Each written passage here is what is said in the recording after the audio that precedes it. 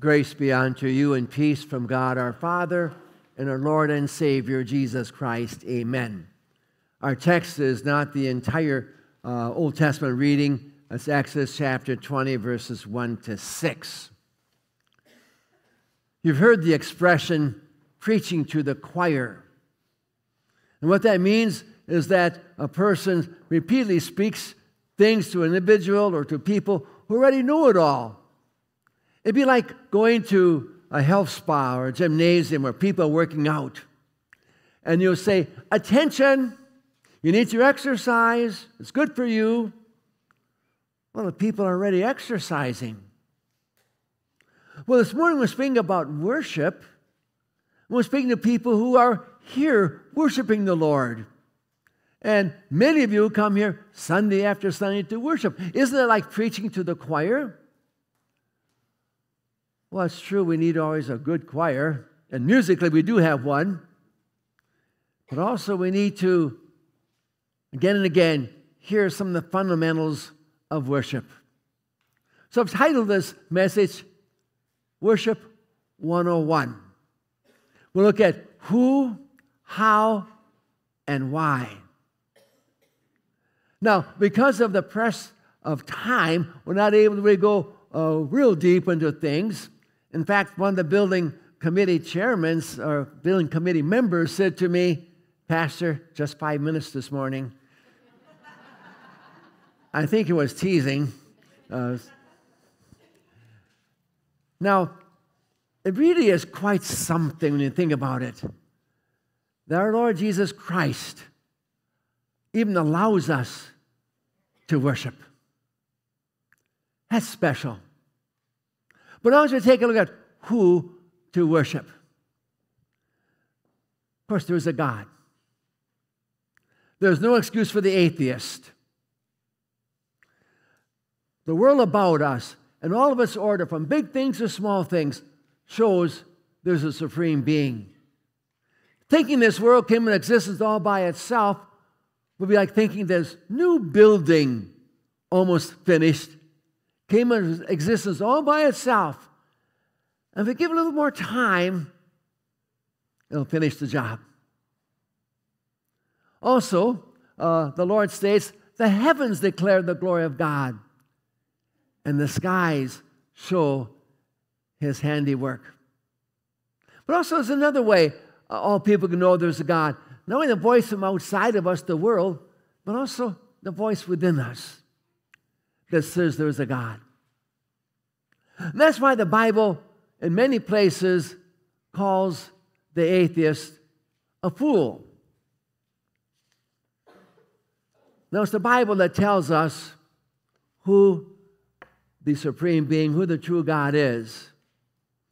He's the Father, the Son, the Holy Spirit, the triune God. And He says to us, You shall have no other gods besides me. And when Satan was tempting Jesus to bow down before him, Jesus said to him, Away from me, Satan. For it is written, Worship the Lord your God and serve him only. And so God wants to be number one in life. Whatever is first in your life really is your God.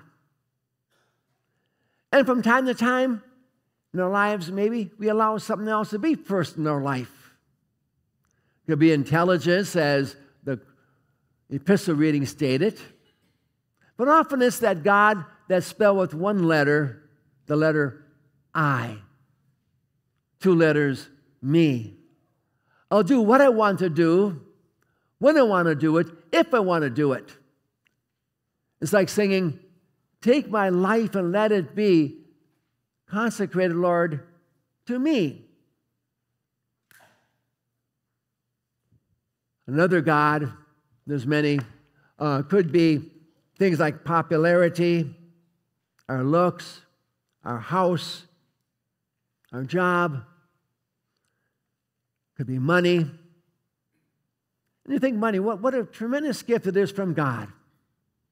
We need money to, to live. Uh, we need income to purchase things. We use money to worship our Lord through our offerings. But we are to master our money rather than letting money master us. It's a gift from the Lord. It's not to be number one. I'm also going to speak about sports for a second. I love sports. I think many of us just love sports. It's a great thing. This is not a tirade against sports or bashing in any way. Let's think of our, of our metro area as far as sports. It seems it's unlike any other metro area. Could be mistaken there. Let's think of the things going on here.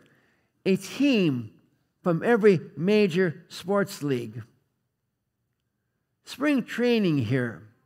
Half the Major League Baseball teams train here. 2023 had the Super Bowl here.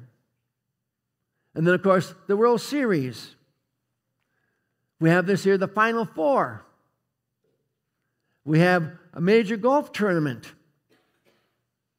In our congregation, Arizona State athletic uh, programs close by. We have coaches and participants in sports who worship with us very regularly. We have athletes in our congregation who received athletic college scholarships. Might say the ASU starting quarterback attends our service. A field goal kicker some years back who kicked the winning field goal against the U of A is here in our congregation. Seven from our congregation have run in the Boston Marathon. Our girls' grade school basketball team were consolation yesterday in the tournament. Our boys' basketball team, guess there's no surprise, won the championship. And so I love sports. I participate in them. It's just, you can't let them be God. I'm an avid Green Bay Packer fan, as some of you are, and no yang and booing now. But keep them in place. Enjoy them, participate in them. Remember, God's number one. It's always great to see Christian athletes uh, come and worshiping the Lord, knowing He is the number one person, and the number one thing in life. And as the commandments tell us in the definition, we should fear and love God that we do this or do that. Or the first commandment definition fear and love and trust in God above all things. So, worship 101 who? Our God. How? Well, many things could be said here, but we'll look briefly and read the two major ones. One, is by going to church to worship. So important is that, that there is a separate commandment in regard to that. Remember the Sabbath day to keep it holy. Another place in the Bible which states, Do not forsake the assembling of yourselves together. When God gave the third commandment, it was not his purpose to make life miserable for us. Must I go to church type of attitude? But actually, he was giving it for our own benefit, for our blessing. We come to hear God's word, which strengthens faith, preserves faith. We come to receive communion. Look at all the things God is giving us through worship. But also, we come to give worship to our Lord. The very fact that we are present, the fact that we participate in prayers and hymns and, and in our offerings, that's worship of our Lord. We do call our church services worship services. Indeed, they are. But worshiping God is not simply and only a Sunday thing. It's meant to be throughout the week. It's not one or the other, it's both and. It's obeying the laws that God has given to us. So the person who seeks to worship the Lord regularly also seeks to follow God's commandments. John wrote, This is love for God to obey his commandments, and his commands are not burdensome. So you're worshiping God in your everyday life. As we sing, Take my moments and my days, let them flow in ceaseless praise. So, worship as we gather together, worship in your everyday life. So, the who, the how, and the why. Why obey? Why, why worship? Why obey God? Again, let's look at two things.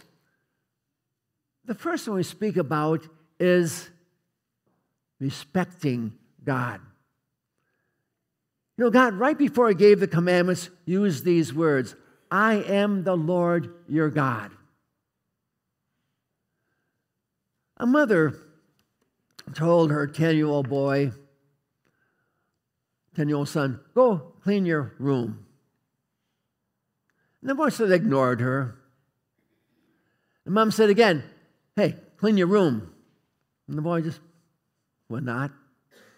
So mother said the third time, go clean your room. And he sassingly said, why should I? And she said, I am your mother, I told you. Now, mothers have ever said things like that, fathers?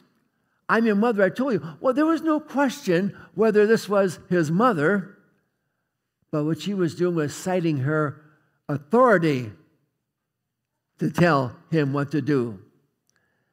And so when God says, I am the Lord your God, he's also setting his authority to tell us what to do. He's given us the Ten Commandments, not the Ten Suggestions. And he's serious about this matter and so should you.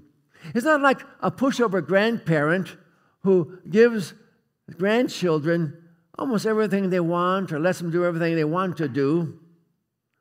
God's not that way. He certainly is loving, but He's not a pushover. So He's serious about obedience and He threatens to punish those who disobey. So don't ignore God or His commandments. But we are to obey not because simply because we'd be afraid of any kind of punishment, although if we ignore God, that happens, should fear, but mostly because of respect for the Lord. But the second one, and the very important one, is that we worship God because of love. And you think how the first words that God says when He gives the commandments shows that. I am the Lord your God. The word used here, on your loving Lord. But also he goes on to say, I brought you out of Egypt where you were slaves. So it's three months before Mount Sinai that God had parted the waters of the Red Sea and took the Israelite people out of slavery, and now they're going to the promised land. And God would take care of them, provide for them make sure that water and food and so on. And then also from them would descend the Savior, Jesus Christ. God has this also wonderful love for you. He's blessed you throughout life. He's provided food and clothing and abilities and job and income, a house, and so on. He's been good. And above all, He's provided you with forgiveness. Here we are, sinners that we are, and yet God has forgiven us. About 1,500 years later, after Mount Sinai, the Savior Jesus was born. And He kept all these Ten Commandments perfectly in thought, word, and deed. And He gave to us that perfection, that righteousness. And from us, He took our sins. And since sin must be punished, He took that punishment of His own sufferings and death on Calvary's cross. And His resurrection shows indeed our sins are forgiven. and we're on the way to the promised land of heaven itself. And that leads us in turn in love to obey Him, to worship Him in that way. Now, we're told uh, that God is a jealous God, and that might be a little bit bothersome at first because we think of jealousy, which in most cases is a sin. But there is also actually a good type of jealousy, strange as it may seem. We have a faithful husband who loves his wife and is very kind and good to her, but she in turn uh, starts going out with another man. Well, he's not going to be indifferent to that, is he? At least I hope he wouldn't be. No, he's going to be upset and jealous. And so God is a jealous God. If we go astray from Him, it's not good. If we go astray from Him, we are ending up in hell. And God doesn't want that to happen. He loves us too much to allow that, to want that to happen. He doesn't simply say, So you're astray, see if I care, just go to hell. Not at all. He wants us to follow Him and worship Him. He has love for you and for me. Now, we looked at the who, we looked at the how and the why. And may our good Lord grant that we worship Him and always say and do and think. Mentioned before what a great privilege it is for us sinners to come before the Lord and worship. But you know, the Lord has taken away our sins. So here we are as His children, as His saints, worshiping our Lord Jesus Christ, our Savior. Amen.